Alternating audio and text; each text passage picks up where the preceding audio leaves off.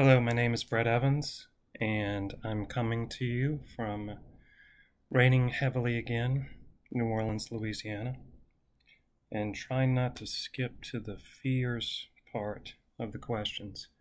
Um, I teach at Delgado Community College um, English, composition, and literature, and a class that we call academic literacy, which is what this apprenticeship will help me the most with, I believe, as it it's a class which combines what used to just be called developmental reading and developmental English into one class.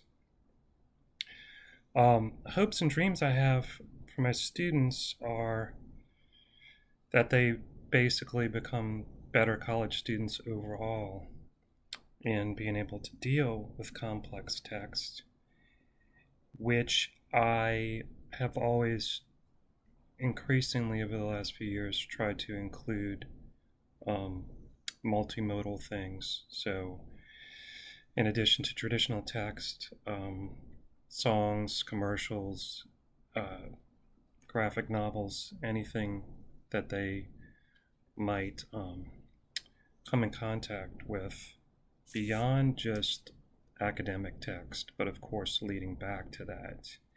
And probably the most challenging thing for them, my current students in this A-Lit class, is dealing with longer, complex academic text.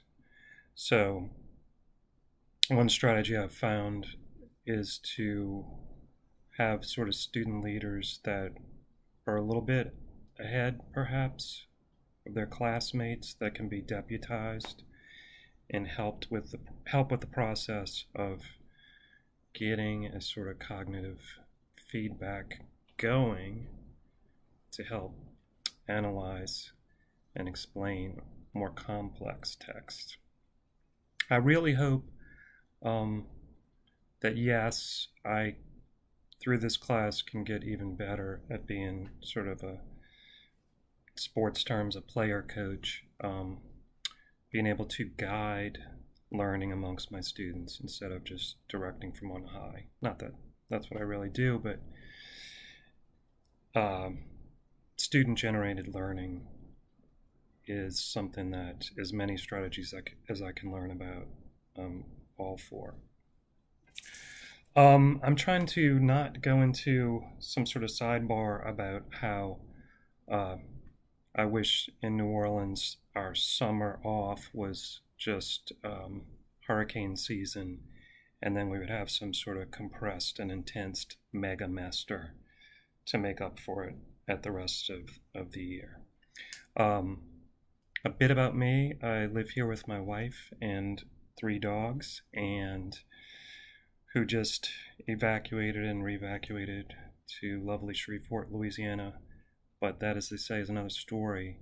Um, I went to undergraduate at Louisiana State University and graduate school at Drexel in Philadelphia. Um, I'm a poet and have several books published. Probably my proudest achievement is seeing the map in the New Orleans paper of our carnival krewe T Rex, which is a miniature shoebox parade that I started with my friends about 12 years ago and would have been our 13th year last year, but got canceled and hoping, hope, hoping not to miss two years in a row. Um, so yeah, I look forward to uh, meeting you guys if, you know, they don't wash us away down here.